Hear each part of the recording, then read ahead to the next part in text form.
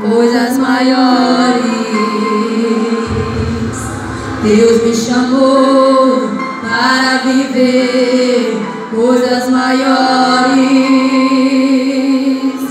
Deus me chamou para viver coisas maiores.